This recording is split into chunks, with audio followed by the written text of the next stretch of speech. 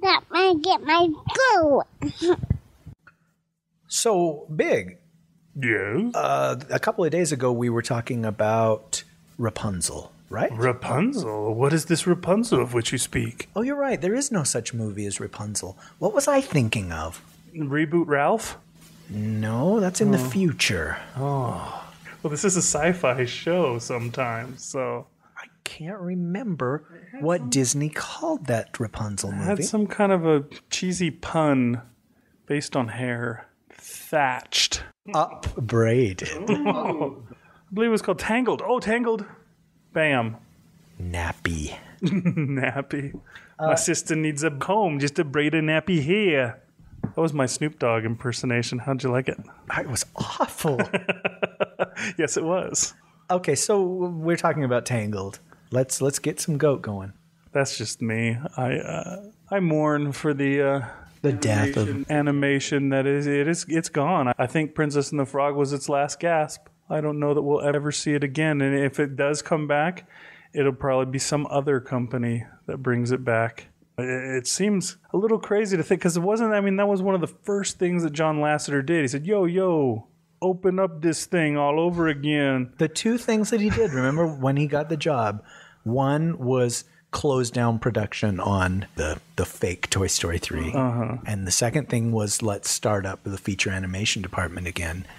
And uh, Wasn't he going to do shorts too? he did. They did the Goofy one. Like one, right? As far as I know, they only did the one. They didn't even do a short for any of these films that they. Pixar puts a short at the start of every single film. Could they not have done the same? I don't know. With with Pixar, it may be some kind of training thing that an up and coming director says, I'll, "I'll do this short to show them what I'm capable of doing." And they'll give me mm-hmm. down the line one of our features. Mm-hmm. And Disney may not think that way because it's like, well, how do we make money on a short? Yeah. I don't. It's like a bonus for the people that come see your movie. You know, they'll, they'll a reward that makes them feel good. And they're like, feel good. They sell them later in a special DVD pack. You know, I don't know. There has been talk that the Toy Story characters are continuing in shorts, and that there is actually a short in production right now. Cool. Whether it will make it on Cars 2 or be on Brave or not, I don't know, or just be on Disney Channel or whatever. But they've already got them all in the computer. They've got several Disney Channel cartoons that they've done already for Cars that are called the Cars Toons, where They have a whole toy line for those. Uh, have you watched any of those Cars I have seen, I've seen several of them. There's Mater telling some kind of story that seems to be a tall tale, but maybe isn't. Goofy, fun stuff.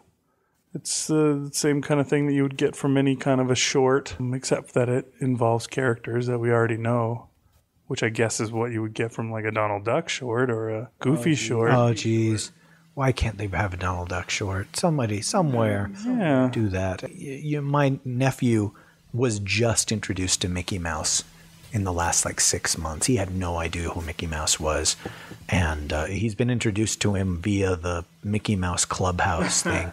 but there is a silver lining to that, that now he knows who Mickey is. And I was like, oh, do you want to watch some real Mickey cartoons? And so I've got all these compilation DVDs of the old classic Mickey uh-huh. shorts, and he just ate them up. Thank goodness. He put him on. He said, "What the hell is this? I thought Mickey was a CG character. I don't want to watch this crappy hand drawn animation. That sucks." He has this flat skin. That's effing stupid. And he's only one and a half. It's weird that Yeah, okay, so we've still got the, the page up for Princess and the Frog, and I just don't get it. It didn't fail spectacularly. Apparently, the production budget was $105 million, which isn't a lot in today's day and age. And the domestic total gross, $104 million. oh, 104 and a half. Right. Uh, and then, you know, there was foreign gross too, but it's not Black Cauldron we're talking about here. This movie made its money back theatrically and quadrupled that on DVD, plus Yeah, showing it on TV and all that stuff. Friggin' uh, The brown ray. yes, we bought the Blu-ray combo pack, which I don't know if that cost more or less or what, but we we bought the friggin' 12 disc set. For that movie, and we didn't even like it that much, which is crazy. Why did we do that? Anyways, Because you were trying to support this dying art form. I went and saw it in the theater and bought the 12 disc pack. And you know, I I can totally appreciate that. That's nice that you would do that. But as we speak, Tangled still hasn't made its money back. Yeah, it's a long ways from it. Now- Tangled's budget is $260 million. That's more than Titanic. Well, I guess we talked about that with the extensive reshoots or redos and reimagining Re renders. of the film. You know, that probably kicked it up there. It is really, really detailed in its animation and stuff, but it's it, was. shouldn't have cost twice more, twice and a half what a traditionally hand drawn animated film cost. I mean, you know what goes into those. Thousands of minorities hunched over easels, drawing and, and, and redrawing and painting, and that's that's man hours like you wouldn't believe, rather than computer rendering hours. Which, and maybe I'm totally wrong. Maybe it takes just as many people to do a Toy Story 3 as it does to do a Princess and the Frog. I don't know. I I, just can't imagine that. I think would. these days with hand drawn animation, I wouldn't be surprised if you draw it, they scan it into the computer from the drawing, color it in a computer, animate it in the computer, everything done in the computer except for the actual drawing. oh, okay. So it, I I wouldn't be surprised if they're close to the same process, really. but the drawing is still Like like comic books these days, they don't color them. They put them into the computer and do it all that way, and that's where you get the detail that you get. But yeah, it's it's amazing. You know, I, I still have to believe that we're tangled done the same way as the Princess and the Frog, hand drawn animation with the script that it had and the story that it had. It would have done the same amount of money if they'd called it Rapunzel. It would have still done the same amount of money that it did as a CG film with the stupid title. Well, see, I don't know about the title thing because it's hard to say. I mean, uh, Princess and the Frog, they changed the title too, but That's it's true. basically the same. But if they changed the name The Little Mermaid to Swimmin' Bitch or something like that, Splash. there you go. Then people, and that dude, that's dead on exactly what Tangled is to Rapunzel. then you know we would know. But this, this seems somewhat unprecedented. I, I guess what was Basil of Baker Street was changed to Great Mouse Detective. But in my opinion, that's a change for the better. Well, I don't know. Neither one of those titles is especially good. The Great Mouse Detective is Uh, I guess it doesn't matter. But but th- there, there's one more factor in Tangled that Princess and the Frog didn't have, and I that's the the 3D thing. Did not Tangled get released in 3D? I would assume so, because I think they release anything that's CG in 3D just because you can make it 3D without having to shoot it 3D. Uh, That's what you always see in the 3D theater is that whatever animated DreamWorks, whoever it is, it's got their 3D picture. So I'm sure this one was 3D as well, but I don't know. I don't see movies in 3D. I boycott them. I, I do too. That uh, Green Hornet flick was supposed to come out in December, didn't end up coming until mid January because they wanted to do the rejiggering, pardon my French, oh. to make it 3D, you know, turning a 2D movie into a 3D movie. And it didn't fail as spectacularly as I thought it should. But a lot of people were saying that that's because, you know, 60% of the people that went to see it saw it in 3D. Hmm. I I'm too old, I guess. I don't get it. I don't see why a movie like Green Hornet, why you would want to go see that in 3D. Yeah. The, the whole purpose of 3D is to make something special, to make something visually dynamic, to make something exciting in a way that a 2D movie isn't, right? Mm-hmm. But if every movie is released that way, then it's no longer exciting or special or unique Right. if it's a movie, if, if somebody went and saw Tron Legacy in 3D, I can say, you know what? I understand. That looks like a movie that would be a lot of fun in 3D. But if somebody goes to see Little, Little Fockers in 3D, I, I can't get my brain around that. Right.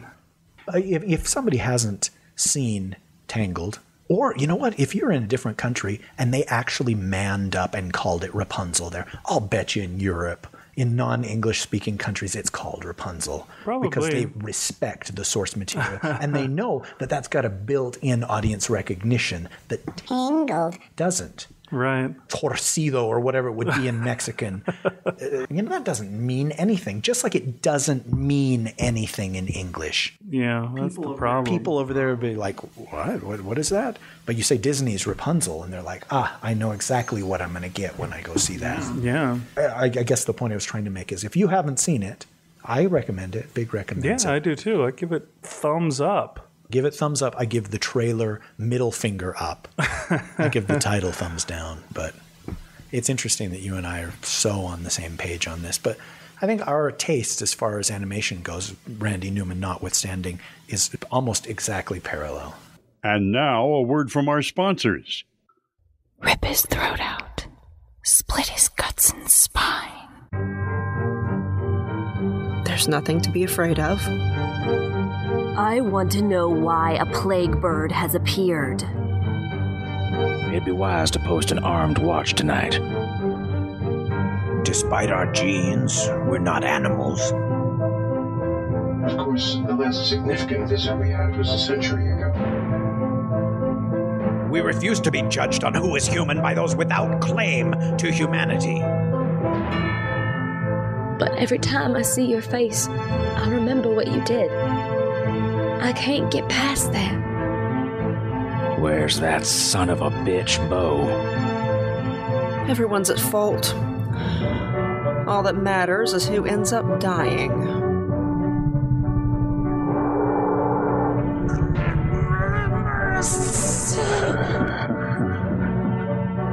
No, no. How old are you? Plague Birds by Jason Sanford. Find this and other free audio stories at the Dunesteef Audio Fiction magazine. That's at www.dunesteef.com.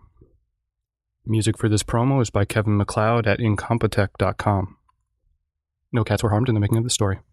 Well, hey, uh, okay, so we've come to the end of another show. Uh, Big's wife just got up and and, and showered on- on her way to ate work. breakfast and then took off, and we're still recording.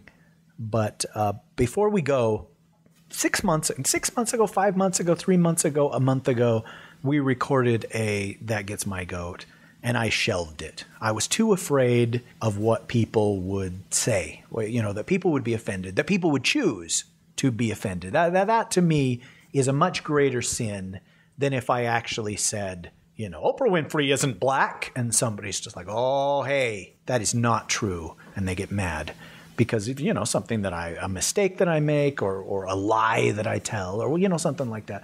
But I was just afraid. We did this episode, and you probably don't even remember. I've forgotten what it was about. I do remember when we shelved it though. yeah, I was I was just afraid that people would you know just shake that fist, the righteous indignation that I like to talk about. Uh-huh. And uh, I have mellowed in my old age, and I've decided that next week we will present that lost episode of That Gets My Goat. Ooh, bye. And to heck with the consequences. You know, people are going to be upset because I get, oh, I just rage. I get so angry about a wrong in the entertainment that my sisters and my mother choose to watch. Oh, that's what it is. Now And I, I- remember. I I just go off and talk about stuff that maybe I, I don't know about. Maybe I have no business spouting about. But hey, it's my show. Our show, sorry. no, it's your show. I'm only here for the ride. it was what, what I was angry about, what I was upset about that week, and uh, even if it is offensive, and you know maybe maybe I, I'm willing to give concede that it it, it might be offensive. Uh, hopefully, it's also funny, and so I'm going to present that next week. And yeah, if you know if you want to rage and, and be hateful and stuff, that's that's that's great. Good for you. I'm so proud of you that you learned how to type for this purpose. But don't do it. And then you won't have to hear me snidely pretending to c- congratulate you. Just just if if it sounds like something that you don't want to hear, don't listen to it. Life is so short. In the time that you've heard me telling you about next week's episode, the rainforest is gone. so I just yeah, I just I, that was a sneak preview for next week. If if if if not, we'll be back in three weeks with an all new that gets my goat. All right. See you later, Is folks. that okay? You know, I didn't really consult you on that. Is it okay? Well, it to- is your show, so I guess it doesn't really matter, does it? You said it was my show. I didn't say it was my show. You said it I? was your show first, and then went, "Oh, oh I, I, I, mean our, I mean our show." no, come on, I stop looking at me like that. I mean, I meant our show. I didn't. Ah, Okay, you know that's true. I, I did say my show. I'm offended. I'm going to type a comment on this episode about how offended I am. Well, that is your your prerogative. That's why I learned to type. You know. Ooh. you use my words against me, Spirit. And I have been Rish Outfield. And I'm Big Anklevich. See you later. Goodbye. Please, sir, that gets my goat is produced under a Creative Commons 3.0 license. But you're free to steal it. Dude, that is so not the movie. That poster is not representative of the movie we just saw. Look at the look on their faces, dude. There's no moment in any in in a frame when they turn evil. Yeah, there's no reason, especially her, would ever have a look like that on her face.